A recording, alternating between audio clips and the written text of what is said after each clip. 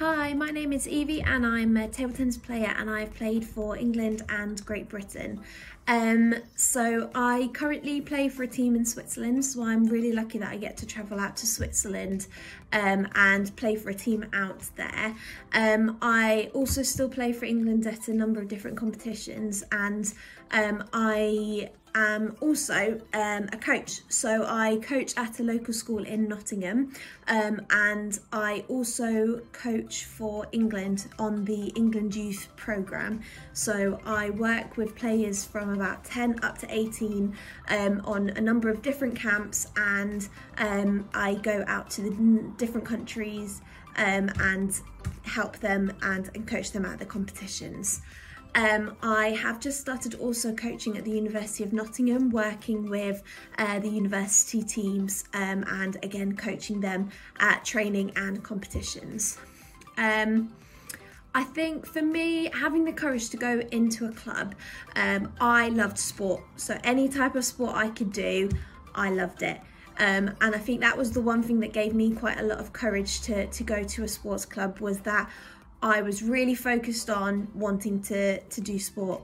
Um, and that gave me sort of the determination to to enter a sports club and and play uh, in my case table tennis um, so at the moment I am training probably around three to four days a week um, it's quite a few hours still of training um, but I am also coaching as well so I coach normally six to seven days a week. Um, so there's a, quite a lot of hours at the moment, um, but we are getting all our players prepared, ready for, for when we can get back out competing.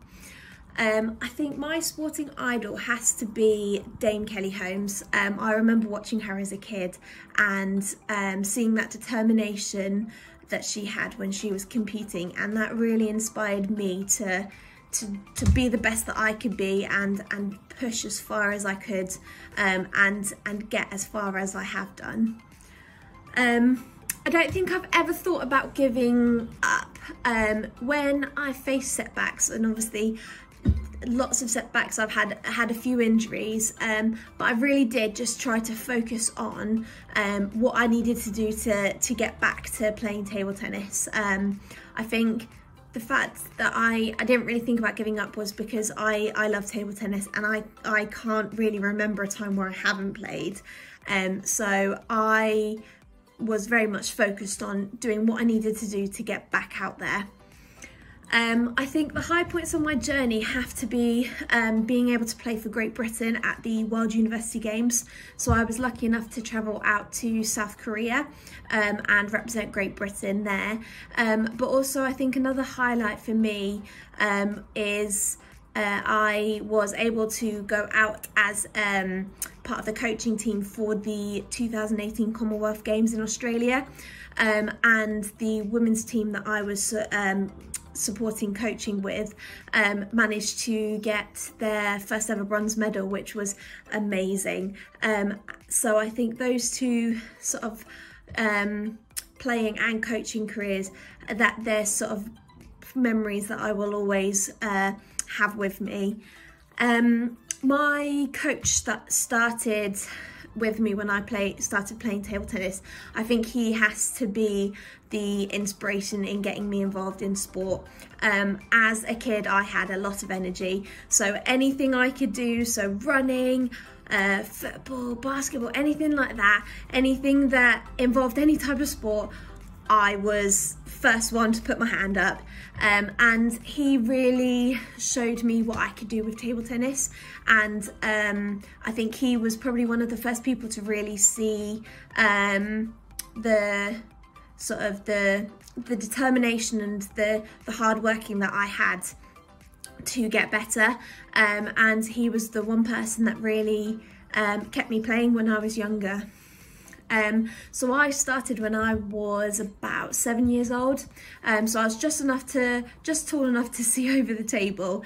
Um, and um, it used to be a school sport. So as soon as sort of we started playing, I was like, oh, I really like this.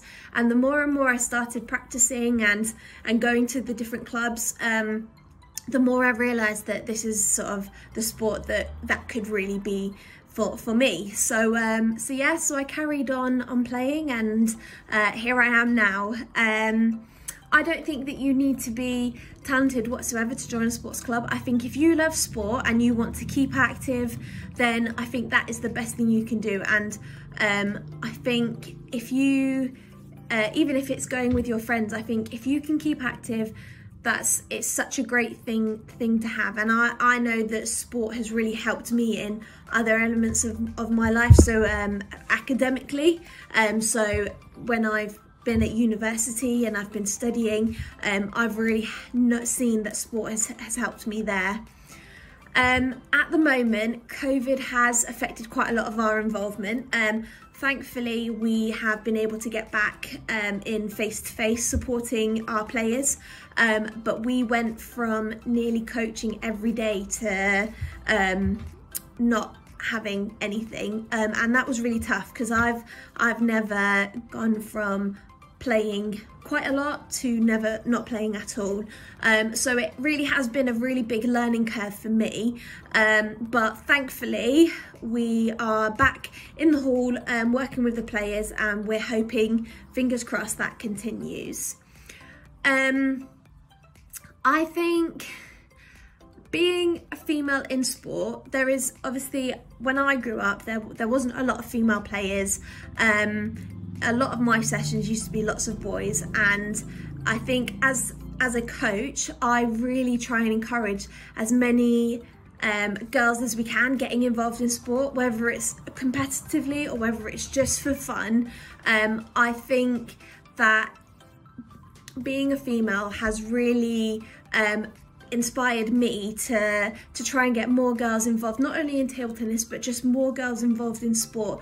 Um, because I really think it is such a a great thing that can really positively impact your life. Um, it's it's tough sometimes so there's not many female coaches so um, I work with a number of amazing um, coaches but there aren't many female coaches and that's something that um, I I'm really hoping does does start to increase because I think in order for, for girls to stay in sport, um, I think having those female coaches and role, role models that I had from from Kelly Holmes and and and different um, famous athletes, I think that really does inspire me to to keep going.